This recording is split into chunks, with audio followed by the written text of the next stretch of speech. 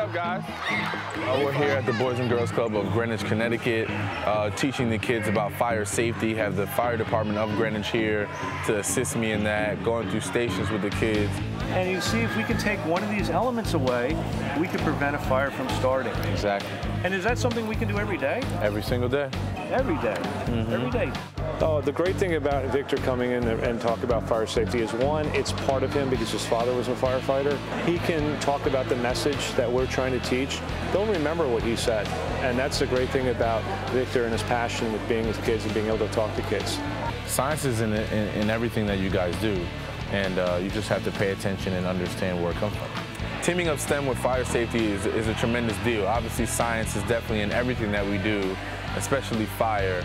And uh, given that my dad was a fireman for 25 plus years in the Paterson Fire Department, just it added incentive and more reason why I want to give back and show these kids what fire safety is all about and what it entails to see if they pique their interest. And so it's not only teaching kids about being safe, but also, you know, inspiring them with different careers that they might want to enter, you know, once they grow up, go to college, and learn a little bit more about who they want to be. So it's a great event for us today. Show our appreciation as our honorary member today in teaching the kids fire safety. Number 80. That's Greenwich sick. Fire Department, Victor Cruz. That's sick. Thank you. Kids want me to put it on. I gotta put it on. Good?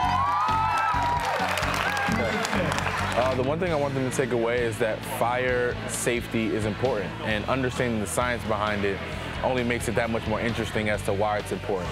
And uh, it seems like you know they took they took heed to it, and uh, they had a good time today. Thank you guys for spending some time with me. Thank you guys for everything. I enjoyed being with you guys today. I hope you guys learned something and soak something in from this experience. Thank you guys very much and enjoy the rest of your day. Appreciate it.